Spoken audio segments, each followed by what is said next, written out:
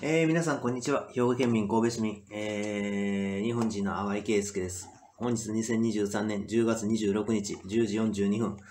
えー、昨日報道ステーションで安藤門アナウンサーが、えー、アウトが言い始めましたけども、えー、淡井圭介は来るなって言ってるんです。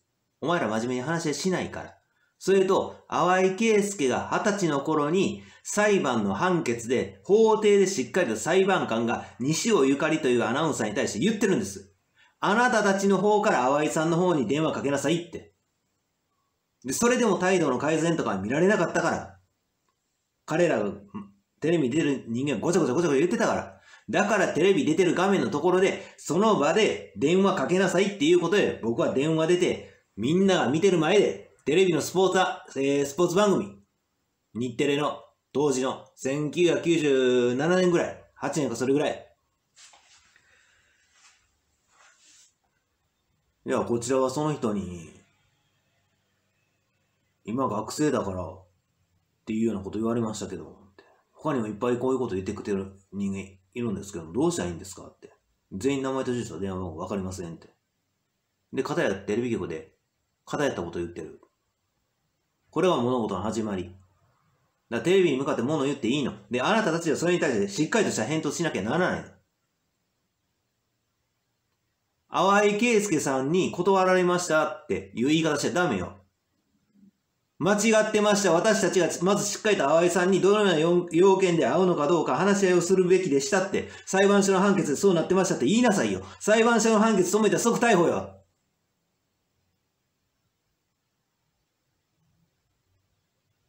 いいから各テレビ局の出演者全員覚えろ。役員もや、働いている人間スタッフも全員もや。関係者。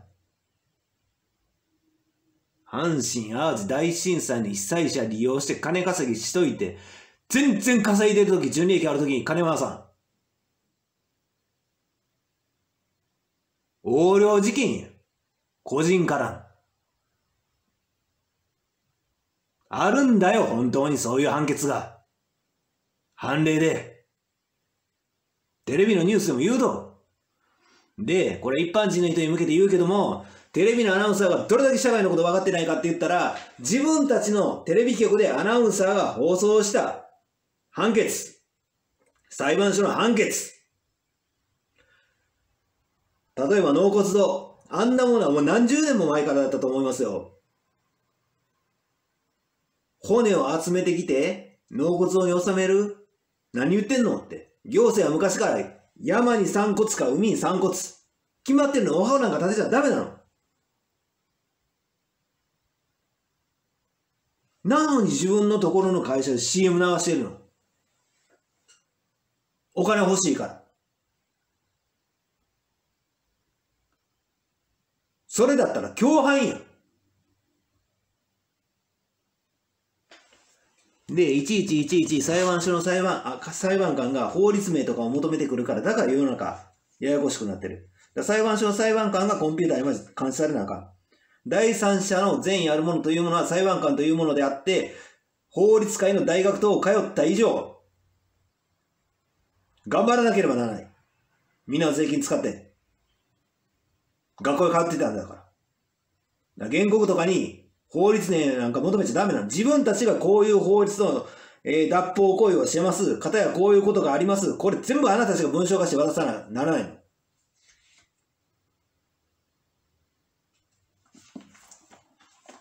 仕事サボってるところじゃない。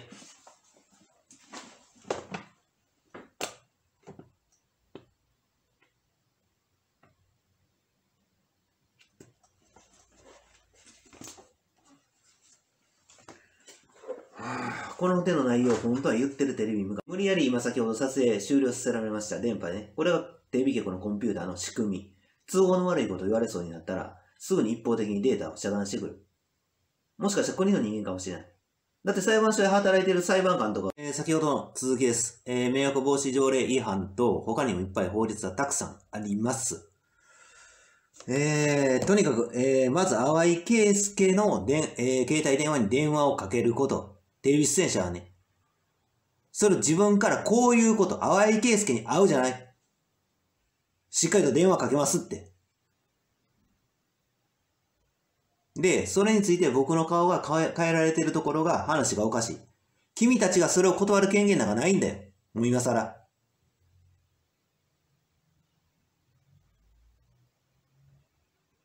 今まで散々会うって言って会わなかったんだから。家まで知ってるんだから、本当は。僕も公開してるんだから、自分の家を。どこに住んでるのか。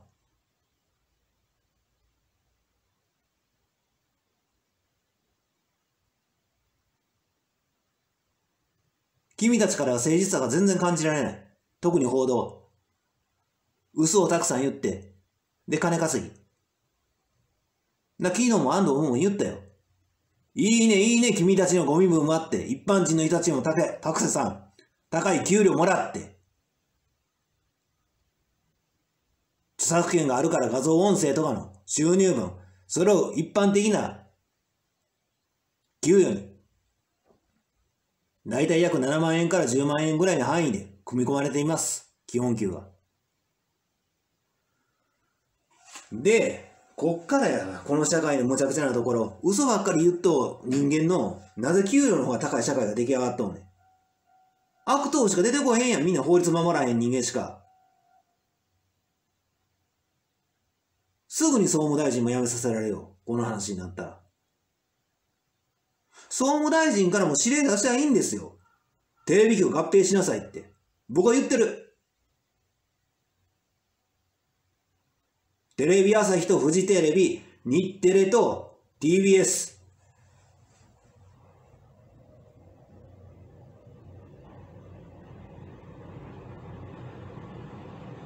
あんなにたくさん番組なんかあっても管理なんかできなくなるからどうせ。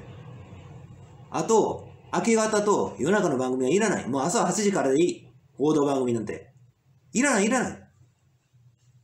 ほとんど人間見てない。意味ない。こういうのエネルギーを浪費したらダメ。あと仕事してるフリーの人たちを増やしたらダメ。勤務中に遊びすぎ。報道関係で。朝の目覚ましテレビとかもスマタンとかもそうやけども、仕事してるのか遊んでるのかわからんような放送ばっかりしよう。もう昔からや。勤務中に酒飲んだらダメだっていうことぐらいわかるやろおやつとか食べてたらダメだっていうことわかるやろ？それそれは休憩時間や。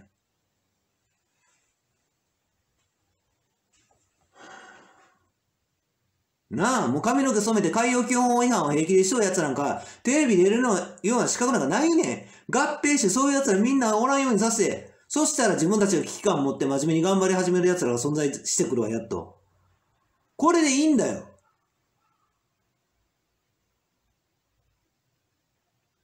もう本当にテレビ出てる人間で、会いますって言うなよ。淡井さんにちゃんと自分から電話かけますって言えよ。その次は証拠や。お互いどういう風な話したか。もうここ来て話する気がなかったんだから、君たちは。そういう勇気すら持ってなかったんだよ。阪神淡路大震災の被災者捕まえて、仮設住宅暮らしの人間、それを利用して、結婚話をたくさん持ちかけてきて、淡井圭介の方が浮気してるような風に見せかけたんだろう。デートすらないよ。海も行ったことないよ。映画館も行ったことないよ。どこにいるかすら知らんねん、こっちは。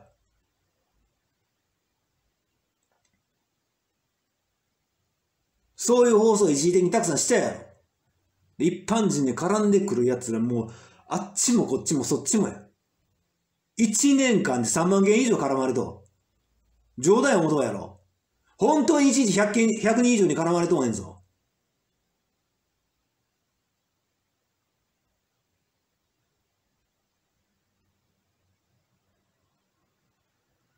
もうええから報道出て、仕事中にヘラヘラヘラヘラ笑うな。大越さんあんたもや。仕事中に笑うな。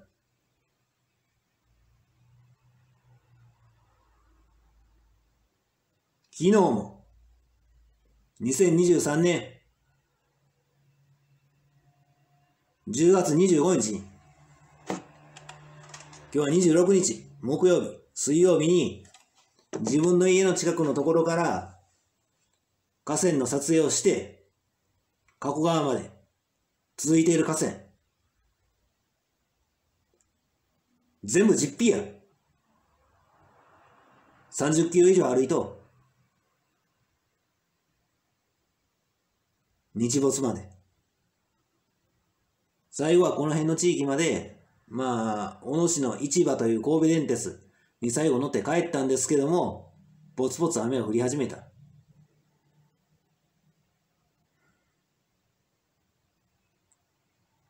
で、東京とかでは雷だったでしょ？昨日の天気。NHK ニュースウォッチ9の方ではいろんな各地で雷の映像出てました。どうせそうなると思いますよ。あのような人たちからしたら。国が彼を雇ってあげてもいいし、どっか大きな民間企業、淡井圭介のおかげで売り上げ上げれてきたところなんかいっぱいあるんだから、そこはお金出して彼の資金援助して、物事もっと早く進めるよかったんだよ。25年ぐらい前から始めていたら、あの頃から。今頃全部完成してるよ。あのような人たちからしたら全部お見通しやねん。安藤もお前見たのか天の轟のところ、見なさいって言われたやろ。お前らの大先輩が淡井圭介や。淡井圭介がするなって言った後はお前らの責任や。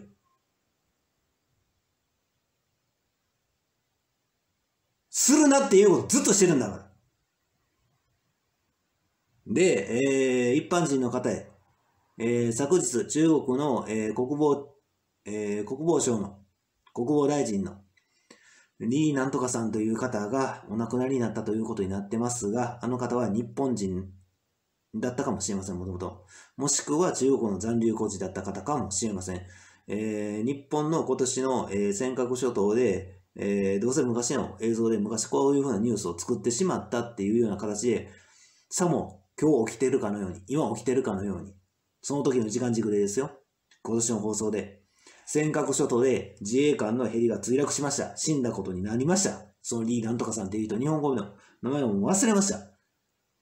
こんな放送ずっとしてるの、テレビ局は。正々堂々と自分から言ったらいいの。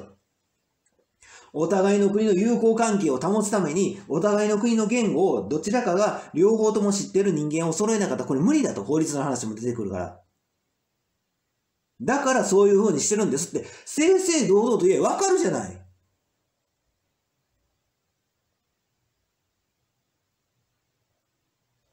なぜ隠し事をするの？それ隠蔽だって教えたでしょ。個人情報保護法の名前と住所と電話番号、これを隠したら犯人の隠蔽だよ。共犯者刑法をしっかりと読み直しなさい。君たちのは。裁判所で働いていた人間がテレビ局に出演してることぐらいはこっちも知っとだからあれほど放映服の色は灰色にしなさいって言ったでしょ。燃え尽きるほど頑張らなあかんから。こっちもその状態や。で、大阪の高等裁判所の段階さんの出した判決。法廷で言った内容も判決で、書類の書き方がはっきり言って裁判所の裁判官の方がいい加減や。すぐ文章を簡略化して楽しようとする。言っと、いろんな公務員の人間とか、もしかしたら民間の結構いろんなところ関わってきたのかもしれん。被告席にずらーっといろんな人間が並んだから、こっちが原稿やで。淡井さんと同じぐらい頑張るでいいですねってこと言われてるから。それ言われたら淡井圭介と同じ睡眠時間とかにさせられるよ。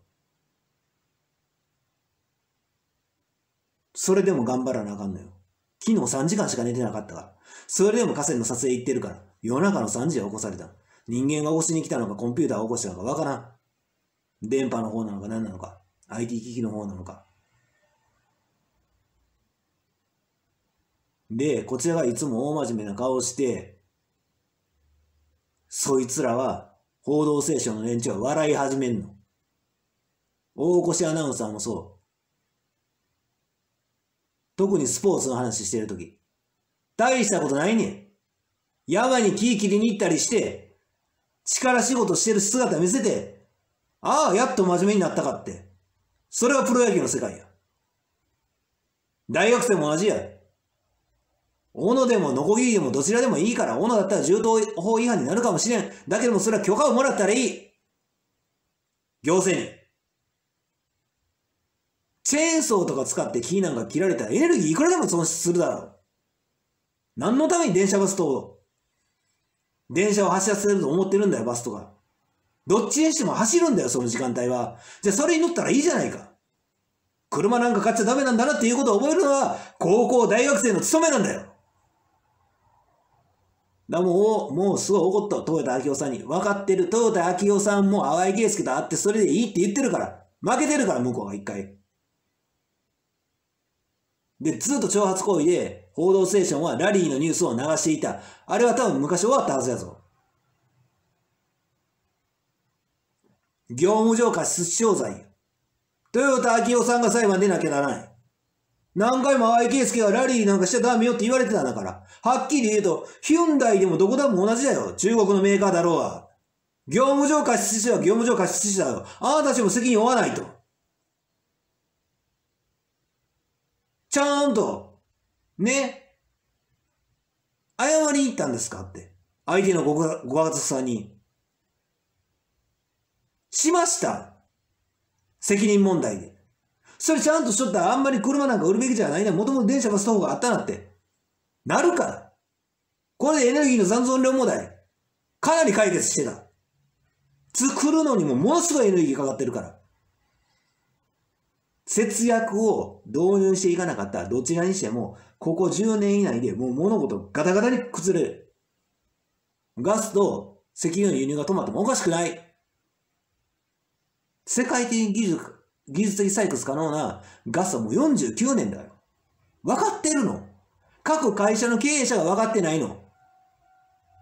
状況。2011年から先進主要国で支援再生可能意義を力入れて導入して進め始めて、安倍政権ぐらいの頃、東日本大震災があったから。僕から言ったの、世界中の政府上層部とパイプあるから。で、10%以上ほど、今は電力、賄われています。自然再生可能エネルギーでね。もともと、1あったかどうかもわからん。日本なんか。そんなもの。その程度 0. 何だったかもしれない。それが1%だったかもしれない。けどそれぐらい。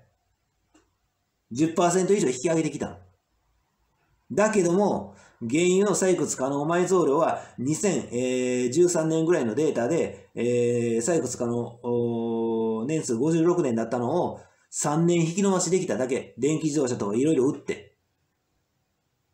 これが現実。もうテレビ出て、報道出て、髪の毛すめて、ヘラヘラヘラヘラ笑うな。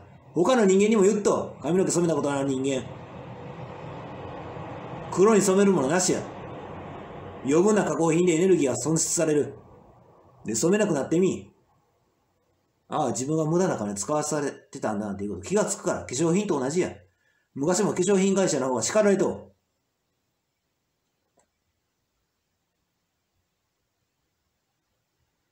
大体テレビ出とう人間ぐらいや。あんなわけのわからんメイクしても。元の男を見てみろ、女は。男性でいつ化粧したやつがおんねん。一般人で。誰もおらんやん。悪いことしてるから化粧してごまかしてるんだよ。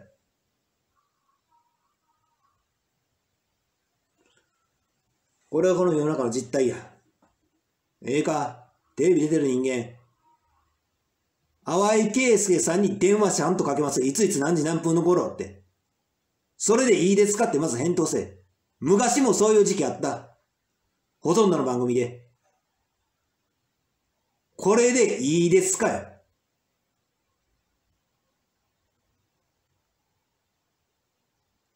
で、今はスマートフォンがあるから、本当に保存機能使う使って、えー、そのデータしっかりと残してなかったら、たくさんいろんな人といろんな話し始めたら、絶対どうせみんな何が何がどうなったかもわけわかんなくなるから。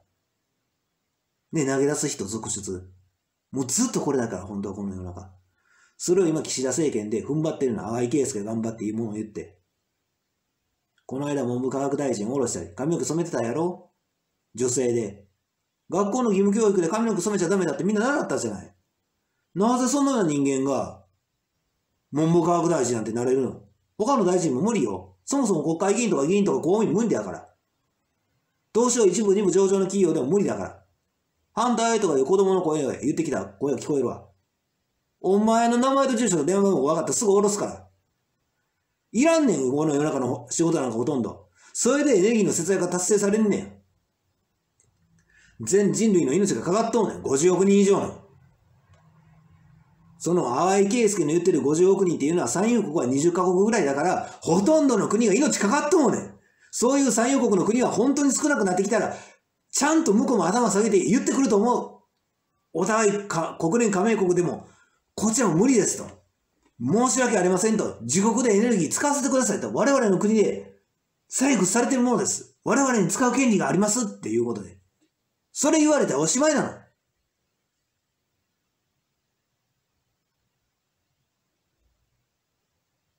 ええか、本当に全員、現実受け入れろよ。これ以上報道でヘラヘラヘラヘラ笑ったり、ワードビジネスサテライトで、あのロボットの展示場のニュース流すなよ。もう何回もそいつ叱ってきた。だけどもそいつ構成する気全くあらへん。ホンダのやつ。今何歳やねん、そいつ。その映像いつや ?10 年前か20年前か25年前か。25年以上前に淡いケースで片っ端からワードビジネスサテライトで出と、調子乗った奴ら。番組から外しと、下ろしと。あ、もう二度と出んなよって。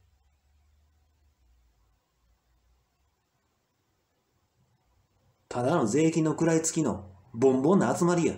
女だっただけどね、大ファンな奴ら。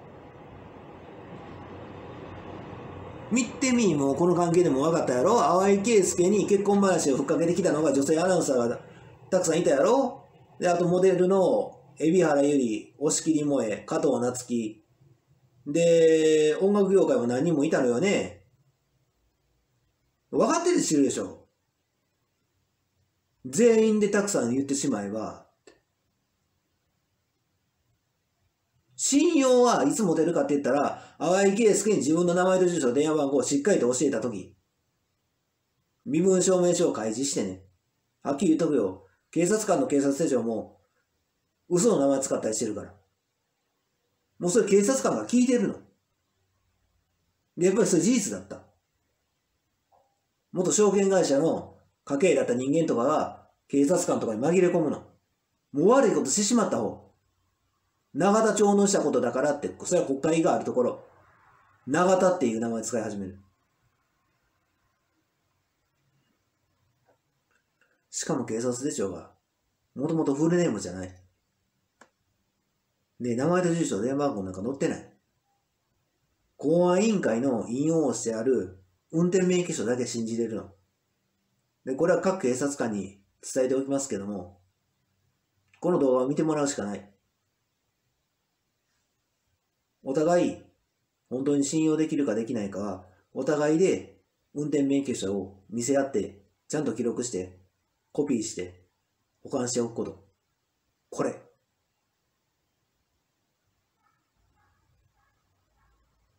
あと警察官の仕事は、すぐにメモを始めること。通報者とか相談者が来たとき。メモせえへん人間ばっかりだから、もう全然だめ。普段からメモしてる人間は文字に強くなる。で、あと記録は残る。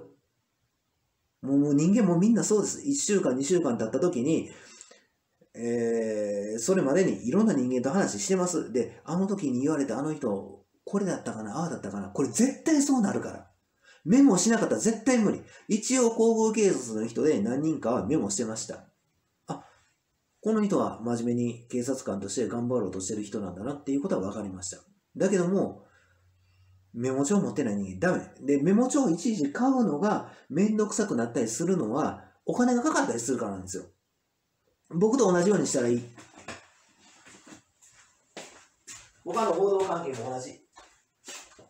もう何でもいいから、いらない、いらなくなった用紙。もうこういうものね。こういうのを、こういう風にメモ帳として、ホッチキスで止めたり、今だったらホッチキスすらいらなくて、ね、止めておけるものあるじゃないですか。そういうもので、自分でメモ帳を作っておくの。で、いつでもメモできるようにしておく。で、もう、もうボールペンでも鉛筆でも何でもいいの。分かれば。で、自分の家の中探したら鉛筆なんかいっぱい出てくるから。シャーペンとかも。もう、それはもうお金をケチってたからだから。メモしなくなったもうみんな大体これ。答え。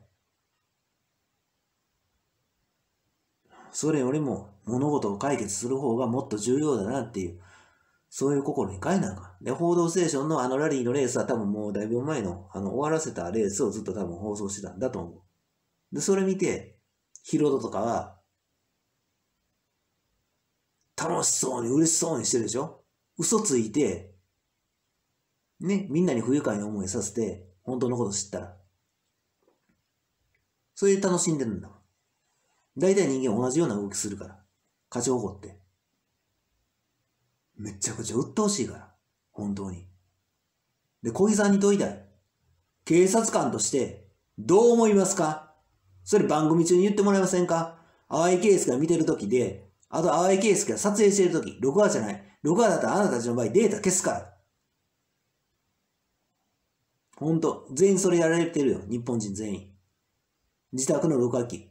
喋ってた内容一部は消えてるということ気づけた人間は頭のいい人間。気づけてない人間はレベルが低すぎる人間。もう10年以上前に誘われたよ。四大監査法人のどこかに。君なら僕と、僕たちと一緒に仕事ができるって。もう今は僕の心の中も全然違うから。監査法人を監査しなきゃなんないなって。これを答え。監査法人が仕事サボってたから。はっきり言うよ。君たちが取り締まり、遅すぎるよ。今まで何してたのって。金の計算だけしとったらよかったのって。会計監査法人。もう一度言う。会計監査法人。はよ、エロ業界ぐらい取り締まれ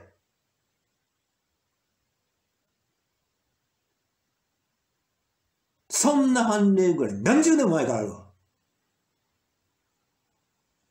ツタヤとかのことだよ。監査法人入ってるだろ。会社の登記簿買ったから知ってるよ。それとも、みんなの前で公開しなきゃ動けない動く気ない頑張る気ないなかったの。それで高い給与得てたの。で、君たちも仕事中に喋って笑ってたの。笑い話して。見たよ。神戸地方裁判所でそういう人間。いっぱい。で、いなくなったよ。当然や。真面目に働かん人間なんかいいな。仕事場で。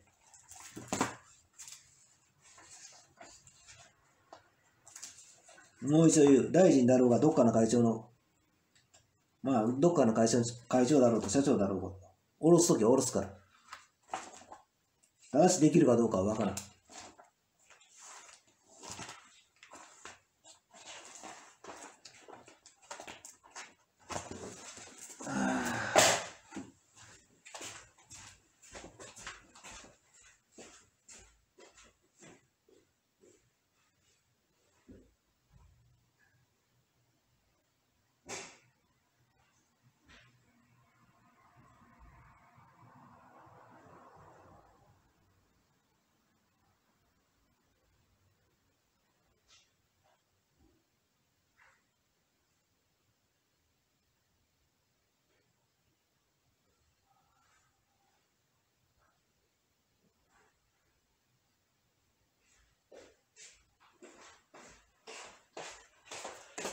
それと大相撲の世界に対して物申す。えー、横綱で年収3000万以上多すぎる。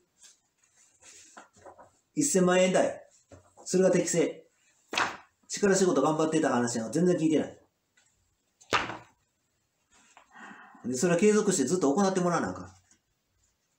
で、それでちゃんと力つくから。で、試合でしっかりとその力が発揮される筋肉として。パワーが全然変わってくるから。本当に僕身長170センチぐらいですけども、中身の入った灯油管4缶同時に持ち上げて、えー、スタスタ平気で歩いていましたから。だから足腰の筋肉もすごかったですよ。サッカー選手みたいに膝から上、ボコーって筋肉出てましたから。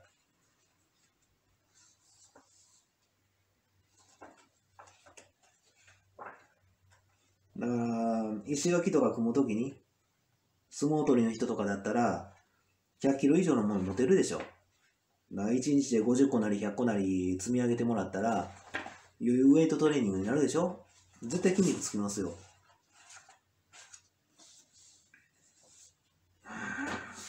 ちょっと待ってくださいね。一回裁判所に提出して、コピーした内容のものの方で、探してますから。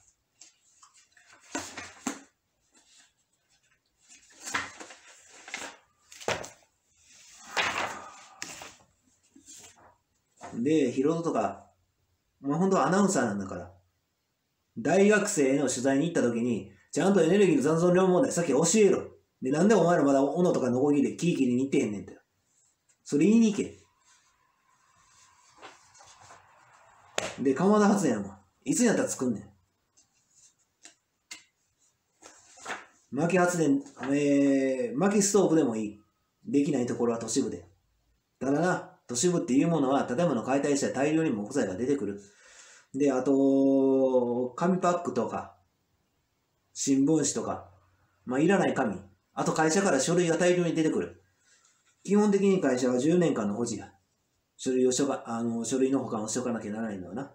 商法でそうなってる。で、そういう大量に燃やせるものっていうものがあるから、うまく活用したら、ダウン、えー、そういったもので得ることぐらい簡単にできんのよ。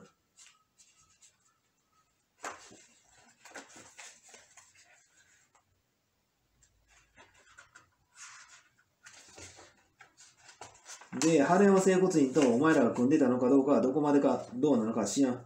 だけどテレビ局関係の人間がそこを出入りしていた。スポーツ関係の人間もな。アナウンサーも何人か出入りしと。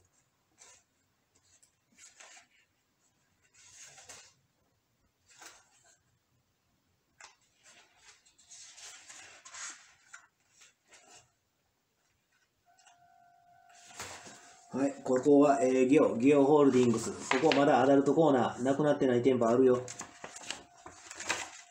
はい、有限、えー、責任。東松さんが入ってる。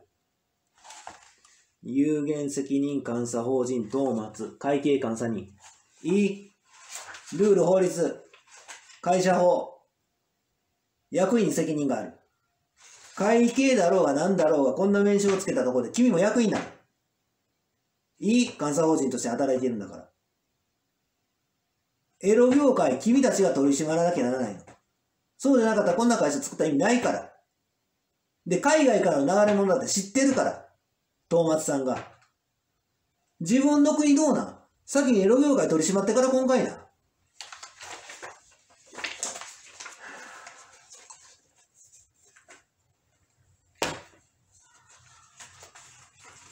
で、次、株式会社、ツタヤ。ツタヤね。株式会社。こういう登記簿っていうものは、法務局に買いに行ってあるから。何でも自分でお金払って、あのーもう基本的に勉強。まあ、こういうふうな目的のところとかも、これ一般人向けに言いますけども、ね、学生さんとかに、社会で、えー出てまだ、社会出てもう何十年も経過して知ってなかったもうびっくりなんだけども、いつになったらあの本当に社会人になるの？っていう話でね。こういうふうな目的で会社の仕事の業種を記載してます。で、これ見ただけでも、あんまりたくさんの業種を手出してたら、あ、これは無理だなっていうことはなんとなくわかります。ね、次から次へと人は代替わりして、あっちもこっちも仕事間違えるのに続出しますから。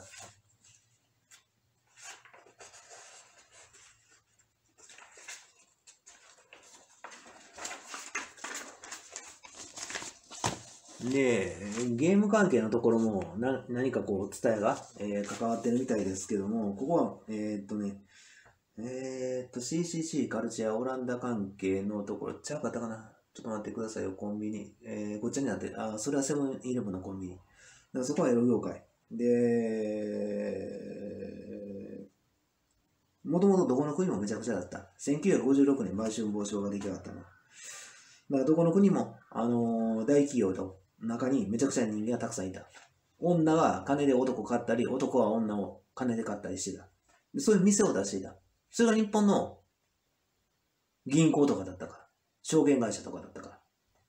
同じ。銀行と証券会社はもともと本当はワンセット。もともとは商社。で、みんなのお金集めたものだから、気が大きくなって、ゴルフ場とかを開いた。エロは許してもらえんかったからゴルフ場を開いたかもしれない。そういう言い方の方が合ってるのかもしれない。もうこれ項目、例えば、ツタヤでも、もうこれ100超えてる。で、途中でそのゲームのところの欄とかありましたけども、それね、あの、エロゲエロゲームを根本的に作ってる会社かもしれない。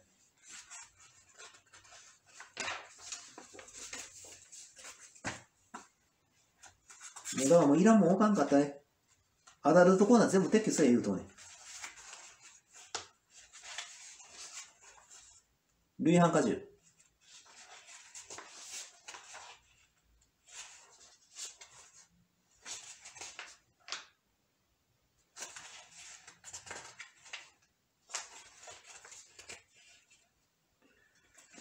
ここはね、ミユ監査法人っていうところが入ってますね。で、えー、海外と、えー、余計な話してるんだったら、えー、海外の政府とかね。で、そこでエロ業界を認めるような発言してるんだったら、無理よ。レイプとかされた件をあなたたち認めて金に変えてたっていうことになるから。極悪に。それが暴力団の実態。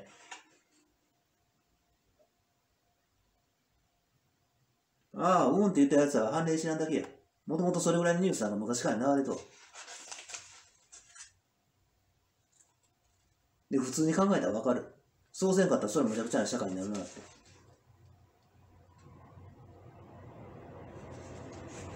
次、えー、山口組の話、えー、神戸市にあの本拠地があるだの、なんだのっていう山口組。はい、これが本当の話。えー、重曹、重た、重たる事務所のところね、これ読んでみたらわかる。神戸市北区言ってね、えー、有の仲間、えー、有野町有の、えー、1490番地、医療法人社団公用会。こういう名称のね、精神病院。えー、経営者、えー、山口、まあ山口なんとか理事長ね。これは、もともと警察官とかが組んでしまっていて、その事実を知ったときに、一部の警察官が取り締まりに行ってくれたの。僕は小学生ぐらいの頃に。精神病院と手込んでる奴らが多すぎると。ね。大手大企業の傘下で製薬会社とかがあって、銀行とか証券会社、エロ業界をね、開いたりしてたところ、そこが精神病院を作って、で、えー、物事を隠蔽しようとしていた。で、警察官の中にも、まだまだ、あの、腐った連中いっぱいいるから、存在するから。そいつは叩き出さなきゃならない。どこの誰が違法行為側かっていう、いう奴らをね。よく分かってない仕事してる連中も違法行為いっぱいするから。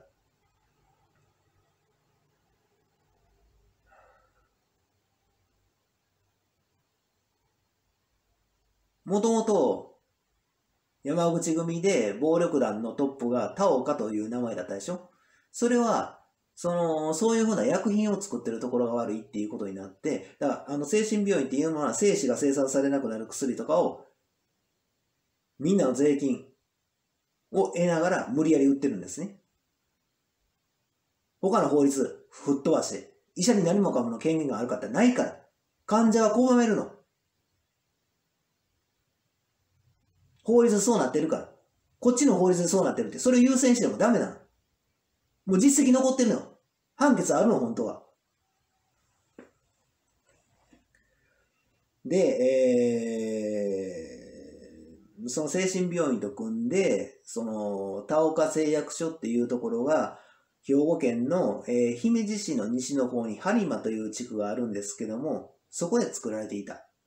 それが田岡製薬所の正体であって、三井系、エロ業界開いてたところ、三井銀行がね、三井証券とか三井グループ。まあ、三井グループは、まあ、頭上がらんよ、淡井圭介に。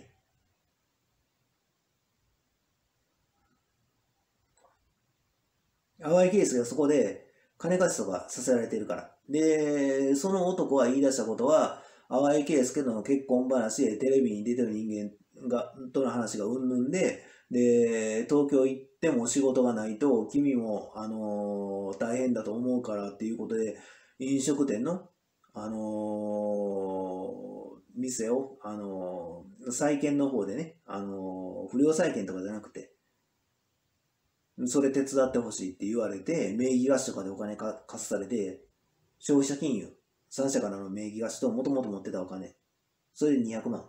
大体それぐらい。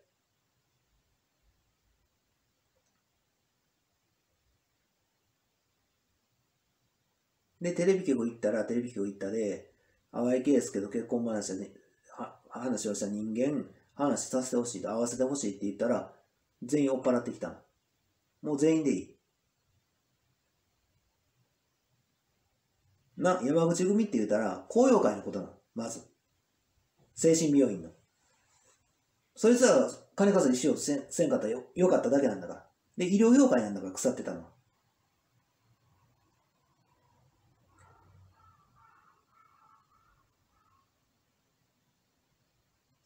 一部の警察官は、田岡御殿を取り締まりに行ってる。誓約書。で、その田岡誓約書っていう名前をインターネットからもう消してある。な。淡井圭介が本当のこと言い始めたら、バレたら困ると思った連中が証拠隠しをするの。どうせ裁判官とかも組んでたと思うよ。一部の裁判官と。もう昔ほんとめちゃくちゃだったから。今でもその話信じられへんのやろ。もう警察官の中にも、検察官の中にも、裁判官の中にも、国会議員とかで、めちゃくちゃなやついっぱいいたから。同時で第二次世界大戦、神々特攻隊なんかさせてたなっていうことはよくわかる、これで。もう同じや。他の国も同じや。戦争させた国も同じや。武力侵攻したところ同じや。私から言わせたら、植民地支配を広げた地域が広ければ広いほど罪は重い、その国は無茶苦茶だったっていうことになる。日本もだいぶ広げてしまった方。インドネシア、フィリピン、まあ一部インドの近くまで侵攻しに行ったみたいですけども、まあ、アホとしか思えない、本当に。同じ国の人間として。相手の数考えたらわかるでしょ。食料の供給そうでなくなったら、兵士なんか現場で身動き取れなくなるんですよ。で、鉄砲の弾なんかしょっちゅうしょっちゅう撃ってたら、100発も持ってたとしても、100発って結構重たいんですよ。金属だから。ね。しょっちゅうしょっちゅう撃ってたら、すぐ弾なくなるでしょそんな何十キロも行軍とか本当にさせたんですかって。どっからどこまで本当なんだろう。けど原爆が投下された話はどうやら本当です。だから沖縄とかに日本列島に米軍基地ができたと。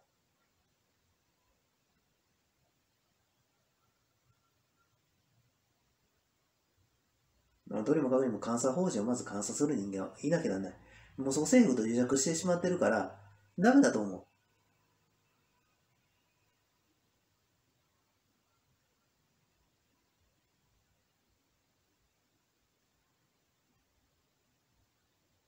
まあ、あとは次は選挙関係の本当のルールを一般人の方たちに、えーお伝えします。えーまあ、これで山口組の件は分かりましたよね。もともと政府と組んでた奴ら、大企業、三井グループ。で、三井住友も同じようなことしてるし、他の製薬会社もみんなまだ同じことしてるし、全員暴力だ。これが本当の話。富士製、もう富士グループも富士製薬所持ってるからダメ。全く生産してないんだったら、それは構成されたとして認めるけども、あの精子が生産されなくなる薬とか、あと、効能ない薬生産してるところいっぱいあるから。意味ないから。飲んでも意味ない薬。飲めない飲めない言ってくるでしょ医者とか。え、そいつらまた笑いながら言うでしょ楽しんでんの嫌がらせして。挑発行為。侮辱罪。侮辱行為。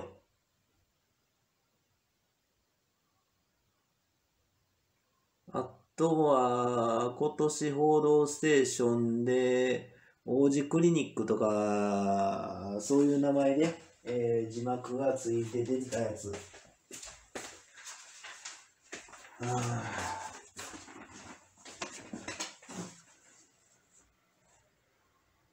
じゃあじゃあ、伊藤王子、えー、上谷内科外科クリニック、伊藤博道院長というもの。このものはコメンテーターとして報道番組に出ていました。コロナウイルスのワクチンなんか効きません。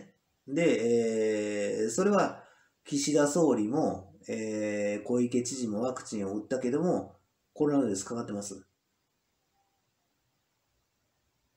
だから横領罪。医者医療医療関係はね。こいつに向かってテレビに、こっちも、あの、それ違うやろうと。ちゃんと本当のこと言えよって。言ってます。もうそいつにやけてます。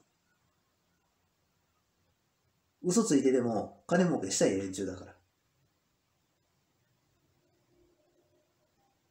で、テレビ出てる時に伊藤っていう名前で出ていたのが、伊藤博道っていう名前だったのが、テレビ出てる人間が、まだ50%ぐらい偽名使ってる人間が存在するのかもしれない。で、民主党の岡田さんだと思うんですけども、偽名でフジテレビ系列の日曜日の、えー、朝の報道番組に出ていました。もうその時点でアウト。偽名使って良い人間なんかこの世に一人もいないの。